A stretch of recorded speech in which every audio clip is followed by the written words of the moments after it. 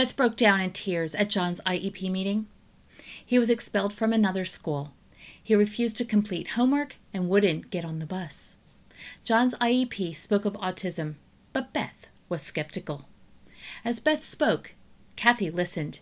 She took my course and was able to pinpoint things like hand pain, spelling problems, and difficulty writing sentences as challenges for John.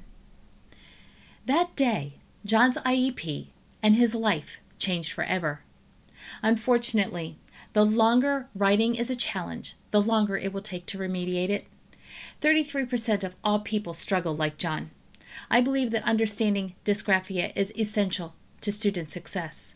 I am Cheri Dotterer of Dotterer Educational Consulting. I help teachers and therapists become word changers. We rewrite labels and transform language to change lives. Word Changers design student success